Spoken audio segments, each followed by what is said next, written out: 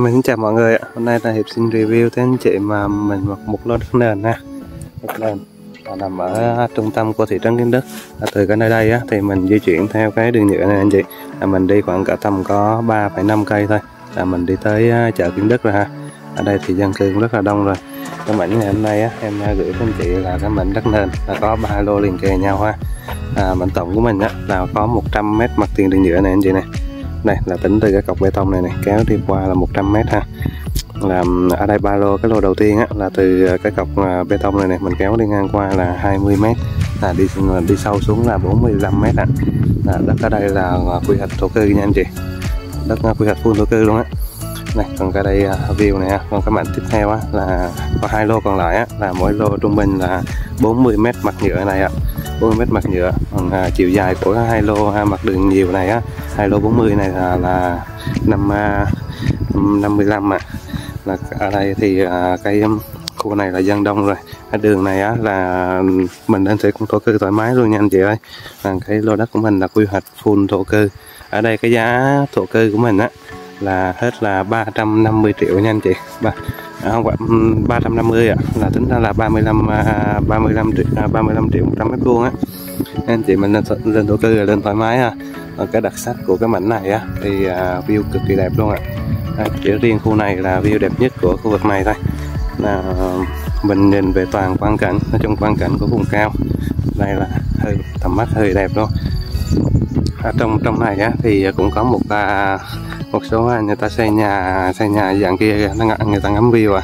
Còn cái mảnh đất của mình á là từ đây đi vô nó khoảng cỡ tầm à, 10 mét thôi là bám bằng mặt đường còn đâu là nó ừ, ừ, đi dốc xuống à. Đi dốc xuống khoảng cỡ tầm 45 độ nha anh chị nên là cái um, ở đây anh thấy anh chị là mình uh, xây nhà thì uh, mình phải làm móng phải, phải tốn hơi tốn chi phí làm móng ạ à. đây dân cư điện đài đầy đủ rồi lúc nãy anh chị mình quan sát trên pha lê cam á trên dòng pha lê cam mình cũng thấy cái mặt view ha. Đây em đi lại chỗ cái góc nào nó không có bị cỏ á là để anh chị anh nhìn ngắm view nó nhìn được toàn cảnh hơn ạ. Đây anh chị đây, đây mình kéo đi vô cả tầm 10 mét ha. Tầm như kia là tầm à, hơn 10 mét đó, tầm 15 mét anh chị là bắt đầu là mình đi âm à, âm nó âm truyền xuống. Mặt view kìa mặt view siêu đẹp luôn. Đây ở đây là kéo tới cái phần ranh này luôn nha anh chị ơi.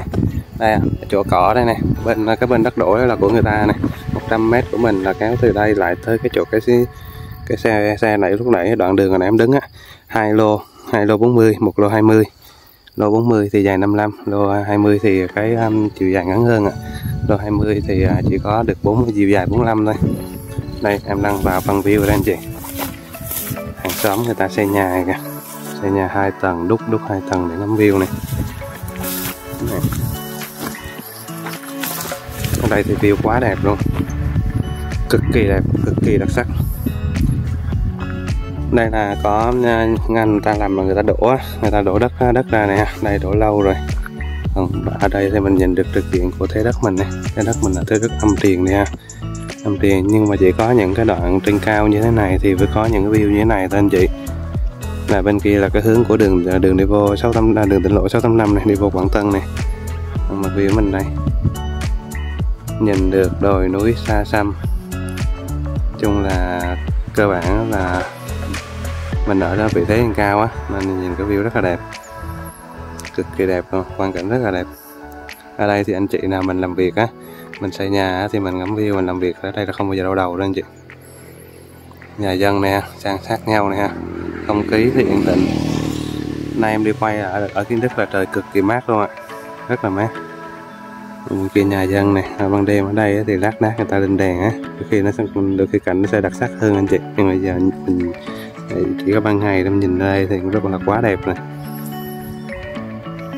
thế đất của mình này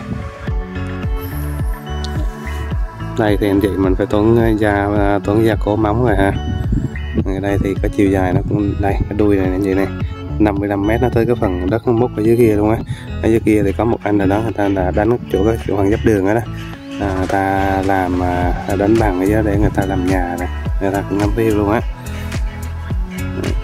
Em cảm ơn quý cô chú anh chị mình đã theo dõi video ha. Em xin hẹn anh chị vào những video tiếp theo của kênh ha về phần giá cả và thông tin chi tiết á. Em à, xin cập nhật hết tất cả trên phần mô tả nha anh chị. À, em xin chào à, hẹn anh chị vào những video lần sau của kênh này